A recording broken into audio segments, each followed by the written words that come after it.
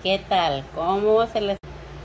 Hola mi gente hermosa aquí saludándoles, cocinando con Gloria Pérez. Entonces, hoy nos disponemos a cocinar unas ricas calabacitas rellenas, rellenas de una rica carne molida de pavo o de turkey. Para eso yo estoy usando medio chile amarillo, medio chile verde, medio chile rojo, medio chile naranja, son chile campana o chile morrón o bell pepper, así son conocidos. Estoy usando un tomate roma y una media cebollita o tres cuartos de cebolla. Estoy usando tres dientitos de ajo. También voy a usar sal de ajo, pimienta, paprika y una pizca de comino. Entonces el primer paso que yo voy a hacer, voy a poner a dorar mi carnita de pavo con la sal de ajo y a cocer por 5 o 7 minutos nuestras calabacitas que ya las tengo aquí bien lavadas y cortadas. Y una vez que estén ya cocinaditas, les voy a sacar un poco lo del medio, las semillitas que no tienen casi semillas, para añadírsela a nuestro pavo. Entonces aquí ya tengo mi agua hirviendo y le voy a poner las calabacitas que se cocinen por 5 o 7 minutos y les voy a poner sal. También les voy a poner una pizca de sal o como una casi una cucharadita chiquita. Vamos a añadirle la otra. Y aquí tengo también mi cazuela y le voy a añadir un poco de aceite y le voy a añadir la carne de pavo molida ¿eh? Esto es una libra.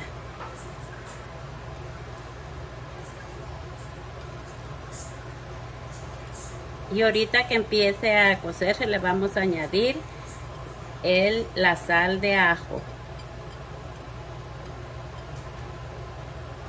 Muy bien, entonces en este punto yo le voy a echar un poco de sal de ajo. Y vamos a esperar que seque para irle añadiendo el ajo, la cebolla y el bell pepper va a ser casi el último porque es más blandito. Y aquí en este punto yo le voy a empezar a exprimir mis ajos. Si ustedes no tienen un exprimidor pueden hacerlos fileteados o picados y una vez que ya nuestras calabacitas están listas las vamos a sacar les vamos a tirar el agua y vamos a esperar que se enfríen en este punto le estamos añadiendo nuestra cebolla y también le vamos a añadir nuestro jitomate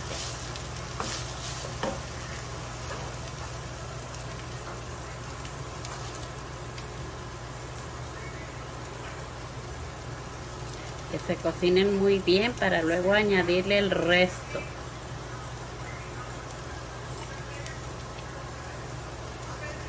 Vamos a revolver todo muy bien.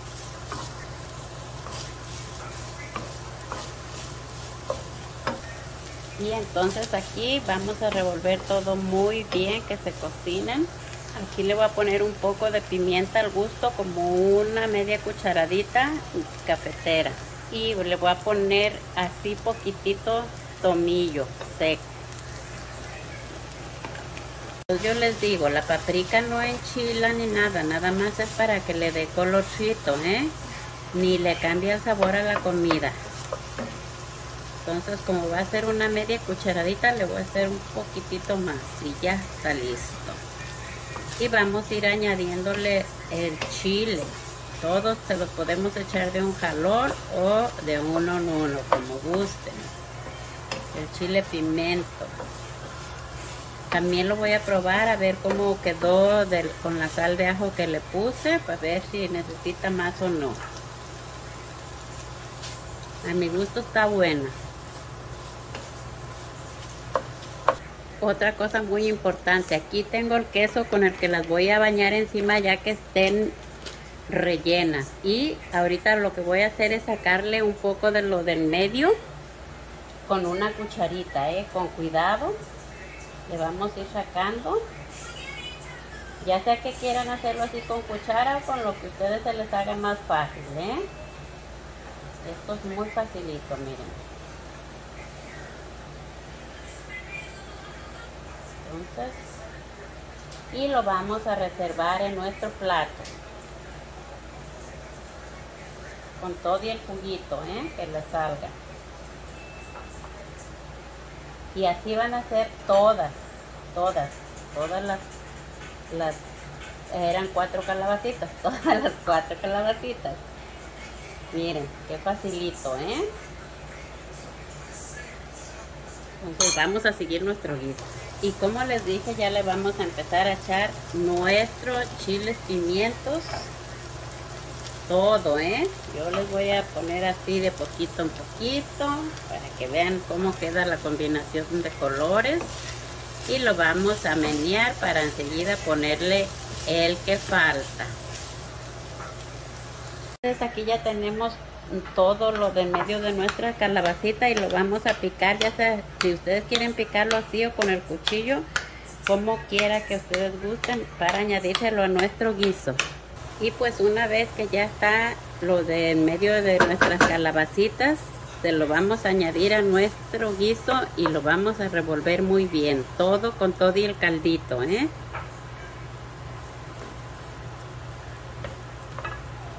Esto va a quedar delicioso.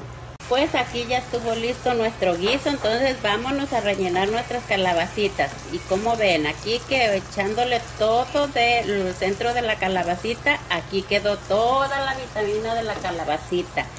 Ya para esto yo ya tengo mi horno precalentando a 320 o 350 según como su horno caliente porque no todos los hornos calientan igual, ¿verdad? Entonces, yo lo voy a poner a 320 o maybe 350. Ahorita voy a, checar eso.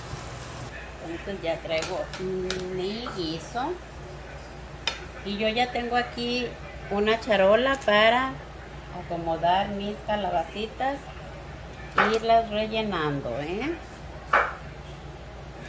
Voy a poner volteadas así para que me quepan todas.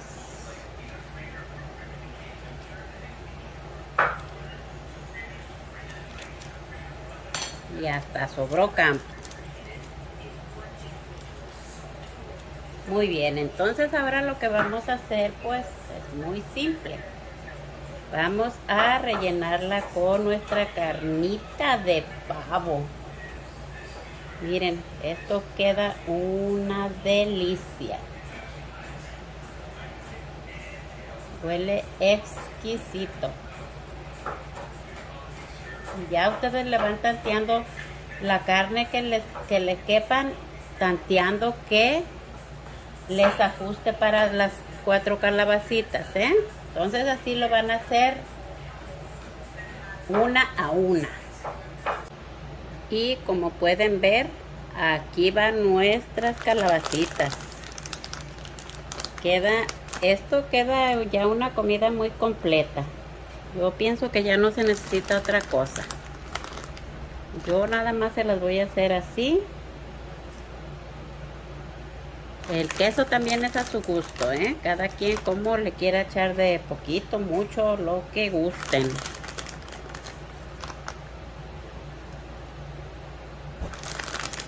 Y me gustó la libra de pavo exactamente para mis cuatro calabacitas porque por ejemplo esas dos están muy grandes. Esas no son dos dos calabacitas me salieron más grandes y dos chicas. Entonces y, no crean que sale caro sale económica esta comida ¿eh? es nutricional y sale económica. Ya después que las tengamos todas con el queso le vamos a añadir le vamos a meter a nuestro horno que ya está caliente, ya pitó, entonces ya está listo para cocinar nuestras calabazas. Yo las meto así sin aluminio. Nada más es casi es para que derrita el queso. Unos 15 minutos y listo.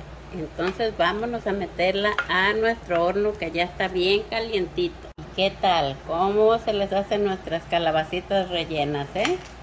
Una delicia, como pueden ver. Ya la saqué del horno y así es como quedan nuestras calabacitas. Entonces los invito a que sigan mi canal en YouTube Cocinando con Gloria Pérez. Suscríbanse, compartan mis videos, déjenme sus comentarios, sus likes y hasta la próxima. Recuerden también que en la cajita de descripciones siempre les dejo las cantidades que usé.